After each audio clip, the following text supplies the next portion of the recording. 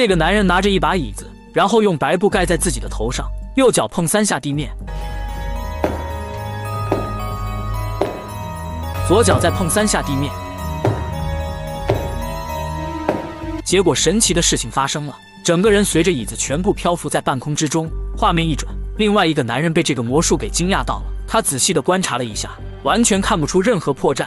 等椅子重新落地后，男人拿下白布，然后自豪的对杰克说：“这是他一生都引以为豪的魔术，名字叫漂移体验。”杰克非常疑问：这个魔术究竟是怎么完成的呢？肯定有机关，要么是绳索吊起来的，要么是有什么磁铁将椅子给悬浮起来的。但是魔术师告诉杰克，这些都不是，在椅子的周围什么也没有。但是究竟什么原因让椅子悬浮的呢？魔术师说给多少钱都不会说的，因为这是他上高档轮船的船票，为那些高贵的人表演的。杰克对魔术师说：“你怎么拿这个做船票呢？你应该去拉斯维加斯表演，那样可以赚很多钱的。”魔术师不为所动，他对杰克说：“这个魔术是他自己设计的。”杰克再次确认：“是你一个人完成设计的吗？”魔术师非常肯定说：“是的。”杰克觉得这样的神奇的魔术应该让全世界的人都看到，这是一件艺术品，你肯定会出名的。魔术师说：“他现在做的事情就是让更多的人看到。”他明早就会坐上船，然后给船上的人表演。杰克这个时候提醒魔术师：“你应该把这个魔术流传下去。如果哪一天你坐的船沉没了，那么这个魔术就彻底消失了。”很显然，杰克想要学这个魔术，但是魔术师拿出一本册子，哪怕他去世了，这个魔术也不会消失，因为所有的设计图纸他都记录下来。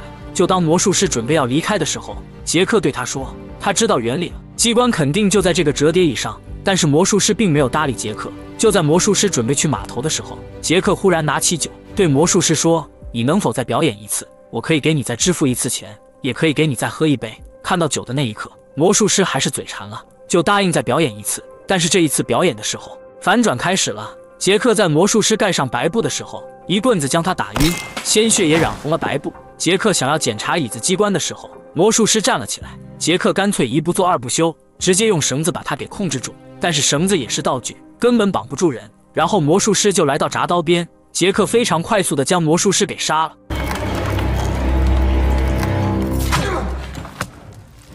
然后拿出那本册子，然后将里面的文字全部抄了一遍。九年之后，椅子漂浮魔术已经让杰克成为远近闻名的大魔术师了。这天晚上，一个记者过来拜访杰克，杰克还故意在桌子上摆放着自己的奖杯。而这个记者虽然也学了一些魔术的技巧，但是也无法逃脱杰克的法眼。记者不得不把刚刚偷走的戒指还给杰克。记者这次是来给杰克做独家采访的。这个时候，记者也注意到房间都布满了摄像头。杰克解释，这些都是防止小偷来偷取知识的。这个时候，记者询问杰克为什么会对街头表演那么反感。杰克说那些都是小把戏，然后拿出一副扑克，让记者随意洗牌，然后抽取几张放在桌子上。杰克很轻易地说出中间的那一张是黑桃九。杰克说这些都是小把戏，真正的魔术是找不到任何漏洞的。说着就拿出一个盒子。并介绍说，这是他爷爷在二战的时候遇到一个神秘的穿着红色袍子的人。这个人明明已经在火海中被烧死了，但是爷爷却没有找到任何痕迹，连个尸体都没有。结果在地上找到了这个盒子。爷爷打开盒子，发现了这些纸牌，每个纸牌上面都有一段铭文。杰克让记者拿出一张牌放入盒子里，然后抽出五张放在桌子上。Back in the box, out of the way. Do you see for yourself, Gabriel? 杰克翻开周围的四张牌，然后让记者自己打开中间的一张牌，那一张就是写着死亡的纸牌。杰克说：“死亡不可欺骗。”这些话吓坏了记者。这个时候，杰克忽然盖上盒子的盖子，对记者说：“这些全部都是骗人的把戏，每一张牌都被魔术师做上了记号，他们可以看出每一张牌，而用那个盒子和一个传奇的故事，就可以轻松让人陷入到魔术师的误导里。”很显然，记者被刚才的魔术吓坏了，还没有缓过劲来。这个时候，记者询问一个问题：如果可以通过故事来误导观众，那么观众是否也可以通过故事来误导魔术师呢？这个问题很显然让杰克非常的迷惑。记者这个时候直接提出自己的要求，他想要做个魔术让杰克看。魔术是让杰克在纸上写上一串数字，在写完数字后，记者看了一眼手机，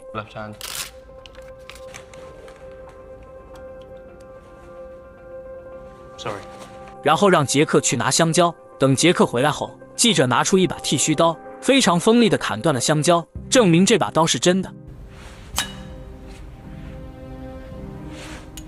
Very sharp, very real. Agreed. Agreed. 这个时候，杰克注意到一个细节：记者将刀放回口袋，又拿了出来，然后在自己的手上切了下去。鲜血流了出来。记者将血染在纸上，然后纸上显露出一串数字，这串数字就是杰克刚才写的数字。很快，杰克就识破了其中的伎俩。首先，杰克猜测那支笔就有检测记录，然后传给手机。所以刚才记者查看了手机，然后等杰克去拿水果的时候，记者用蜡烛在纸上写上刚才的数字。而那把刀也是有两把刀，在记者放回口袋的时候，已经更换了一把刀。说着，杰克就拿出真刀来，然后得意地放回去口袋里。这个时候，记者嘴角露出一丝的笑意。记者非常佩服杰克的能力，说自己会继续学习的。但是这一切全部都在记者的设计之中。Does. Thank you. I'll, I'll work on it. I don't mean to sound negative. 这个时候，杰克忽然询问：“你的这些魔术是谁教你的？”记者说是自己的爷爷。前段时间，一名律师找到他，带给他爷爷的遗物，在遗物里说到一个本子会传给他，但是这本手册却不见了。说到这里的时候，杰克已经知道眼前的这个人究竟是谁了，就立马打发他离开。记者不愿意就这样离开，想让他打开保险柜，让他检查一下，看看有没有爷爷的手册。杰克当然不愿意让他打开，并说所有的魔术都是机密的。记者说：“你这个魔术的名字和爷爷的魔术名字完全一样，证明这一切都是你偷取了爷爷的魔术。”杰克知道不能再和他纠缠了，就让他离开。就在记者离开之后，杰克越想越不对劲。就在他想着如何应对这件事的时候，他的妻子打来了电话。妻子询问：“你为什么老是打我电话？”杰克说：“他没有打电话。”然后提醒妻子不要接任何电话。如果他要给妻子打电话，他会打视频电话的。妻子就挂了电话。这个时候，杰克明白不能让记者抓住把柄，所以他准备打开保险柜，然后毁灭证据。就在输入密码的时候，杰克想到不能让人看到，就关闭了监控系统，而且还把今天晚上和记者见面的内容给删除了，因为他害怕今天晚上的对话被人听到。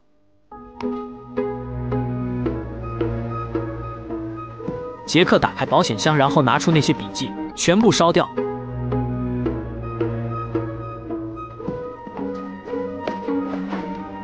第二天，就在杰克想要再练习一下漂浮椅子的时候，走进两个人，是英国的警察，他们是来告诉杰克他的妻子昨天晚上被人谋杀了。当听到这个消息的时候，杰克一点惊讶都没有，因为他一直在怀疑自己杀那个魔术师的事被揭发了，所以一时没有反应过来。这个时候需要他证明昨天晚上在做什么的时候。杰克才发现完蛋了，昨天的视频被他删除了。更加可怕的发生了，有人举报他的保险箱里有作案工具。等杰克打开保险箱的时候，一切都完蛋了。这里就有一把血淋淋的剃须刀。一看到这把刀的时候，杰克全部想明白了。一开始偷戒指的时候，记者就已经调换了戒指，而记录他笔记的根本不是笔，而是戒指。所以昨天他打开保险箱的时候，戒指就已经把所有的记录全部传给了门外的记者。而那把刀的指纹也是杰克自己染上去的。我的天！所有的一切全部都在别人的算计之中。看来再厉害的骗子也有被骗的那一天。